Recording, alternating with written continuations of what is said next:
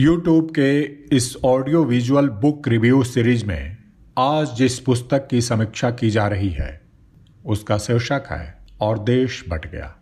लेखक हैं राष्ट्रीय स्वयंसेवक संघ के प्रचारक एवं भारतीय इतिहास के मनीषी होंगा शांद्रा वेंकट रमैया शेषाद्री जी। शेषाद्री जी का संपूर्ण जीवन राष्ट्र को समर्पित रहा। संघ के कार्यकर्ताओं के बीच वह होवे शेषाद्री के नाम से लोकप्रिय थे। भारतीय स्वाधीनता संघर्ष, सत्ता हस्तांतरण और देश विभाजन पर शेषाद्री जी की पुस्तक और देश बट गया में तथ्यपरक तरीके एवं निष्पक्षता के साथ भारत के विभाजन पर प्रकाश डाला गया है। और देश बट गया पुस्तक में शेषाद्री जी ने भारत के विभाजन की त्रासदी का वर्णन किया है। इस पुस्तक में कुल 27 अध्याय हैं। जिनमें स्वाधीनता संग्राम की निर्णायक घड़ी हिंदू मनोबल पर कुठाराघात, मुस्लिम अलगाववाद को प्रोत्साहन बंग भंग द्विराष्ट्र सिद्धांत का बीजारोपण, राष्ट्र जाग उठा, कांग्रेस तुष्टिकरण के फेर में, खिलाफत आंदोलन एक भयंकर भूल, खिलाफत के कड़वे फल, धर्मांतरण और दंगों का बोलबाला, मुस्लिम मांग अतृप्त पिपासा, सांप्रदायिक निर्णय दस्यु शैली लीग को रासाई, राष्ट्रीय प्रतीकों पर समझौता, बालकन जैसे प्रदेश बनाने की योजना, कांग्रेस ने जिन्ना को आकाश चढ़ाया, भारत ज्वालामुखी के मुख पर, ब्रिटेन वापसी की तैयारी में। लीग की सीधी कार्रवाई पूर्ण गतिरोध, विभाजन के लिए नेता मानसिक रूप से तैयार, विभाजन की स्वीकृति, भारत के साथ छल, भयंकर विनाश, सब कुछ स्वाहा राज्यों के विलय की चुनौती, क्या विभाजन अनिवार्य था? विषैले बीज और स्वप्न को साकार होगा, जैसे महत्वपूर्ण अध्याय शामिल हैं।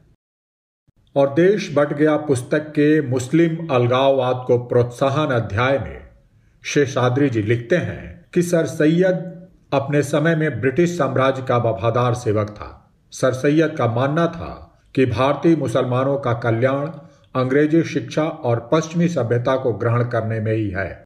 सर सैयद ने बाइबल पर एक टीका भी निकाली थी, ताकि ईशा का संदेश धूमिल न होने पाए। सर सैयद के अनुसार, ईसाई और मुसलमान ओल्ड टेस्टामेंट के एक ही उपासना कुल के सदस्य थे। शेषाद्री जी ने सर सैयद के दोहरे चरित्र का उल्लेख करते हुए लिखा है कि जब उन्हें हिंदुओं से समर्थन जुटाना होता तो वह हिंदू मुसलमानों को भारतीय बधू की दो सुंदर आँखें बताते थे, और जब वह मुस्लिमों के बीच जाते तो वहाँ लड़ाकू मुद्रा में गृह युद्ध की धमकी देते थे। अपनी पुस्तक में शेषाद्री जी ने भारत के विभाजन की कई ऐतिहासिक घटनाओं का उल्लेख किया है। पुस्तक के द्विराष्ट्रीय सिद्धांत का बीजारोपण में वह लिखते हैं कि 30 दिसंबर 1906 को, जब लॉर्ड मिंटो के आशीर्वाद से मुस्लिम लीग की स्थापना हुई, तभी लीग का घोषित लक्ष्य झलक गया था। और देश बट गया पुस्तक में शेषाद्री जी ने लिखा है कि कांग्रेस किस तरह आरंभ से मुस्लिम तुष्टिकरण में जुटी थी।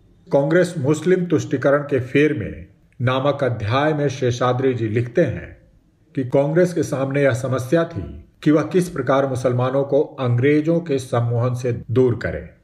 इसके लिए कांग्रेस ने अनेक तरह के प्रलोभन मुसलमानों को दिए। कांग्रेस अपने अधिवेशन में भाग लेने वाले मुस्लिम प्रतिनिधियों को किराया और अन्य यात्रा भत्ता देने लगी और अधिवेशनों में मुस्लिम प्रतिनिधियों के लिए विशेष सुख सुविधाओं की व्यवस्था की जाने लगी।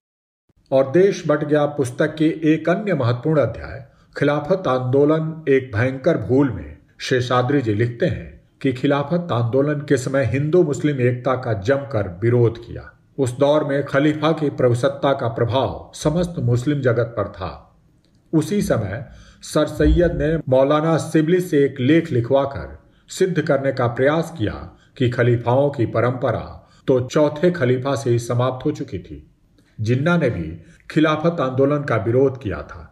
शेषाद्री जी इस अध्याय में लिखते हैं कि मौलाना अबुल कलाम आज़ाद भी तुर्की के खलीफा शाही के प्रति निष्ठावान थे। उनका विचार था कि यह अंतर्राष्ट्रीय इस्लाम के हित में था। उन्होंने यह भी कहा कि दारुल इस्लाम के क्षेत्रों में जिन लोगों ने अधिकार कर लिया है, उनके विरुद्ध जिहाद करना मुसलमानों का मजहबी दायित्व है। पुस्तक के धर्मांतरण और दंगों का बोलबाला अध्याय में शेषाद्री जी लिखते हैं कि स्वामी श्रद्धानंद ने हिंदुओं का धर्मांतरण रोकने के लिए शुद्धि आंदोलन चला रखा था। 1923 की पहली छमाही में संयुक्त प्रांत के कुछ भागों में 18,000 से अधिक मुसलमान पुनः हिंदू बन गए। मुसलमानों के साथ कांग्रेस के नेता भी स्वामी जी के इस शुद्धिकरण आंदोलन की निंदा में जुटे थे। 23 दिसंबर 1926 को स्वामी श्रद्धानंद जी से अब्दुल रशीद नामक एक मुस्लिम मिलने आया और उसने अपना रिवॉल्वर निकालकर स्वामी जी पर गोलियाँ बरसा दी। रशीद पकड़ा गया मगर उसके बचाव के लिए मुसलमानों ने काफ़ी पैसा इकट्ठा किया। कांग्रेस के एक प्रमुख नेता आसफ अली ने अदालत में उनकी पैरवी की। पुस्तक में लिखा गया है कि कांग्रेस के गुवाहाटी अधिवेशन में महात्मा गांधी ने अब्दुल रशीद को भाई कहा। गांधी ने कहा कि मैं उसे स्वामी जी की हत्या का दोषी नहीं मानता।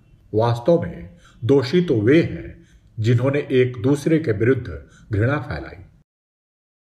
और देश बट गया पुस्तक में शेषाद्री जी लिखते हैं कि किस तरह से मोहम्मद अली जिन्ना जिन्ना भाई से कायदे आज़म बन गए। शेषाद्री जी ने जिन्ना की खोखली राष्ट्रभक्ति की परतें खोलते हुए लिखा है कि जिस व्यक्ति ने कभी केंद्रीय धारा सभा में कहा था कि मैं राष्ट्रवादी था, राष्ट्रवादी हूँ और राष्ट्रवादी रहूँगा, वह बाद में साफ़ कहने लगा कि पाकिस्तान का जन्म तो उसी दिन हो गया था, जब सदियों पहले प्रथम हिंदू का धर्मांतरण इस्लाम में हुआ था। वह लिखते हैं कि मुस्लिम लीग और जिन्ना द्वारा इस्लाम के नाम पर हाय तौबा मचाने की चालें सफल सिद्ध हुई। पुस्तक में हिंदी भाषा को राष्ट्रभाषा बनाए जाने को लेकर शेषाद्री जी लिखते हैं कि स्वामी दयानंद सरस्वती, वीर सावरकर, बंकिम चंद्र चटर्जी, लोकमान्य तिलक, राजा जी और महात्मा गांधी जैसे राष्ट्रीय नायकों ने यह प्रयत्न किया कि हिंदी जन संपर्क की भाषा बने। परंतु मुस्लिम लीग इसे सहन न कर सकी। वह हाथ धोकर हिंदी के पीछे पड़ गई और वह उसे हिंदू आधिपत्य का प्रतीक कहने लगे। लीग ने तो यहाँ तक घोषणा कर दी थी कि वह कांग्रेस को तभी सहयोग करेगी जब कांग्रेस हिंदी के स्थान पर उर्दू को राष्ट्रभाषा स्वीकार कर लेगी। और देश बट गया पुस्तक में शेषाद्री जी लिखते हैं कि वास्तव में इस बात के ठोस आधार हैं कि यदि हमारे नेता विभाजन का दृढ़ता के साथ विरोध करते तो स्थिति कुछ और ही होती। अखंड भारत को मान्यता मिलती और आंतरिक विक्षोभ भी टल जाता। ब्रिटेन की नई नीति ने जिन्ना को बाँध कर रख दिया था, उसके अपने साथी जो सांप्रदायिक उन्माद में उससे चिपके हुए थे, कठोर वास्तविकता से टकराकर इधर उधर भागने लगे थे। और देश बट गया, पुस्तक की भाषा शैली बहुत प्रभावशाली और अस्पष्टता को समेटे हुए है। पुस्तक के लेखक शेषाद्री जी ने अनेक ग्रंथों, पुस्तकों एवं समाचार पत्रों के अध्ययन के उपरांत इस प्रभावशाली पुस्तक की रचना की है। भारत के विकास, शक्ति, प्रतिष्ठा एवं विश्व गुरु बनने के सपने को कैसे साकार किया जा सकता है, पुस्तक में इन बातों पर भी चर्चा की गई है। निश्चित रूप से शेषाद्री जी जैसे महान विचारक की लेखनी से निकले शब्द इस पुस्तक की सार्थकता को बढ़ाने का काम कर रहे हैं। और देश बट गया पुस्तक के अध्ययन के उपरांत होवे शेषाद्री जी के विचार एवं उनकी भाषा शैली तथा उनके लेखन से जुड़े अनुभवों की जानकारी प्राप्त होती है। वर्तमान परिस्थितियों में यह पुस्तक पाठकों के लिए भी बेहद उपयोगी और ज्ञानवर्धक है।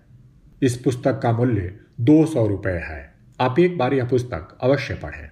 इस पुस्तक को खरीदने या इसके बारे में अधिक जानकारी प्राप्त करने के लिए आप जयवीर सिंह जी से संपर्क कर सकते हैं।